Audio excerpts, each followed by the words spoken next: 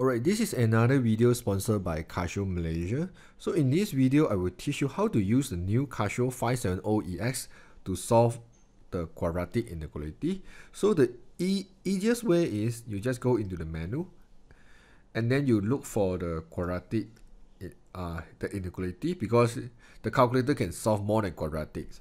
Then you tap equal here then it will ask you about the polynomial degree. But over here, I will just focus on the quadratic because in SPM, you will only see about the quadratic only. So which is power 2. Then I tap 2. And then you will see four different type uh, for the inequality. So basically, in uh, over here, I will just tell you this is the same for bigger and bigger equals. You just use the correct sign whenever the question gives you. So in this video, I'll just focus at two type, which is less than and bigger. Alright, because uh, less than and less than equal and bigger and bigger equal are the same. Alright, so okay, so if I want to solve this uh this question, let's say it's just less than, then I tap two here, then I just insert my um a, b, and c value. My a is one, my b is four, my c is negative twelve.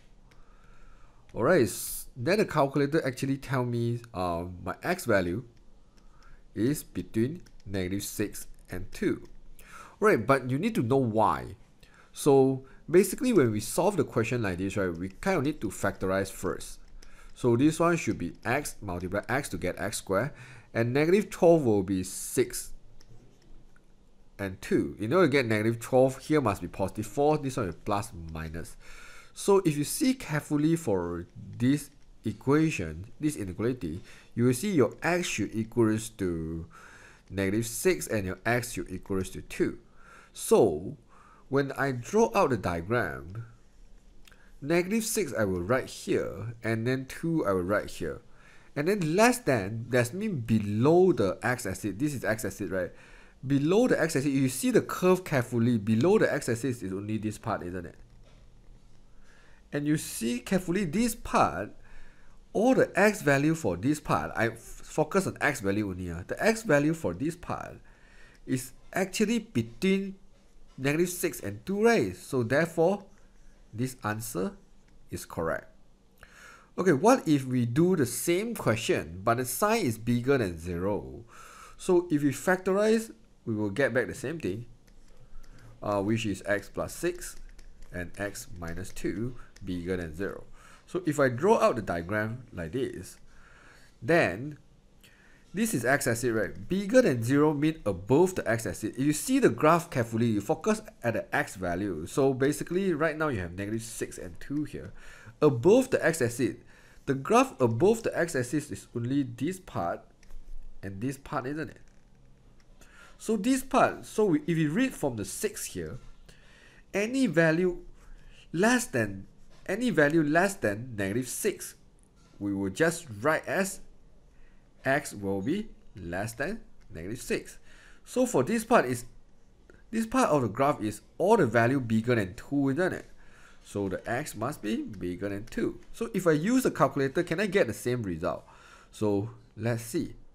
So yeah, I go back the same thing, polynomial, and then this is bigger. I will find where is my bigger, which is number 1. I will choose number 1 and then I will insert my value again which is 1 uh, actually I already insert just now.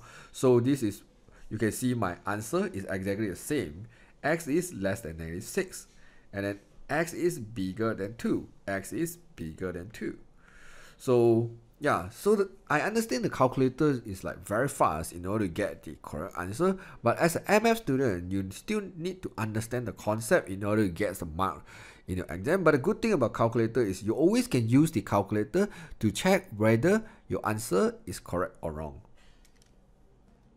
So if you are interested to buy this calculator, I will share the Lazada link at my description below. The link will bring you to the Casio flagship store because right now, uh, the Casio Malaysia are doing the promotion. Whoever buy this calculator from them, they will actually free you a Casio L file uh, I believe this file is waterproof. So this is how you insert the paper into the L file. I believe you know what is L file. And at the same time, if you insert the promotion code, which is my name, uh, I will share at the description below as well. They will give you another 5 ringgit discount for the calculator. Yeah, I guess that's all for this video.